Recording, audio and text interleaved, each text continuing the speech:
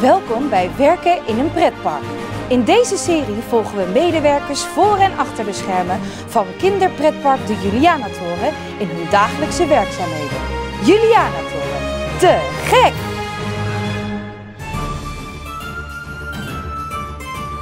Mijn functie is uh, technische dienst en uh, wij verzorgen het onderhoud en de reparaties hier in het park.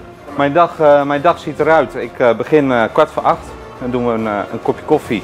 Dan bespreek ik met de jongens wat er deze dag gebeuren moet aan reparaties. Die, die gaan we vervangen voor 10 uur.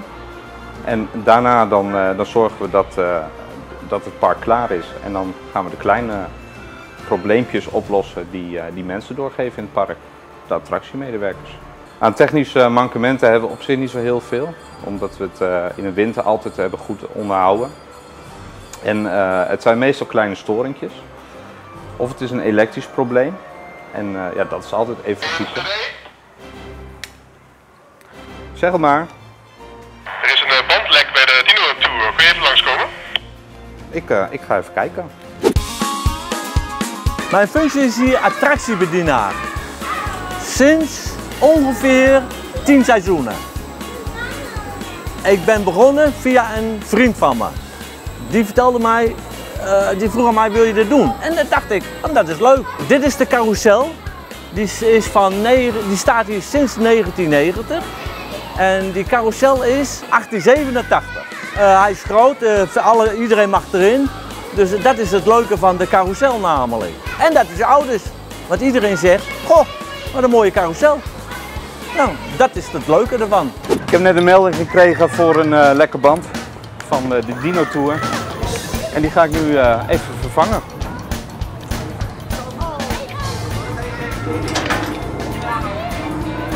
Wat belangrijk is, is dat het helaas buiten gebruik bordje daar ook even staat.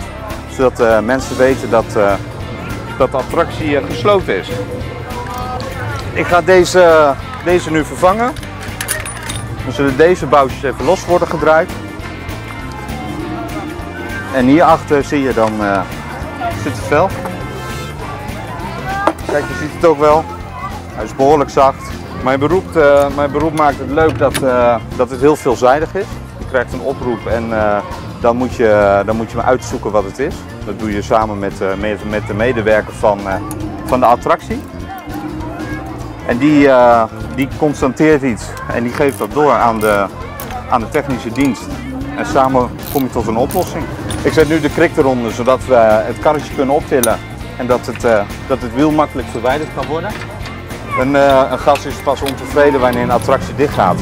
En dat proberen wij natuurlijk te voorkomen. Dus we gaan eerst kijken wat er aan de hand is. mocht het zo zijn dat de attractie toch dicht moet, om wat voor reden dan ook, ja, dan, dan is het niet leuk. Maar over het algemeen lossen wij uh, 9 van de 10 problemen lossen wij altijd op. En kan de attractie binnen kwartier à een half uur gewoon weer draaien. Ik heb hem nu af. Dus we gaan deze even, even nakijken. En deze gaan we in de technische dienst brengen. Ik heb de band heb ik nagekeken. En uh, die bleek uiteindelijk niet lek te zijn. Waar lag het aan? Het lag aan een ventieltje. Dus dit ventieltje ga ik vervangen. En dan pomp ik hem op en dan kan hij weer terug. Ik heb de band die, uh, die lek is, heb ik bij de technische dienst gebracht. En ik heb een, uh, een reservewiel even meegenomen, zodat de attractie weer snel, snel kan doorgaan. Dit is het laatste wat we gaan doen voor de Dino Tour. De, de vel zit er weer op met de band. We draaien deze vast en de krik kan weer naar beneden.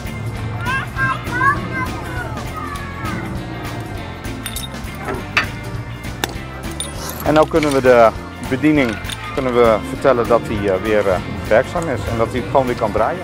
Kijk eens. Nou, uh, vriendelijk bedankt. Hij is weer gerepareerd. We gaan nu de carousel starten.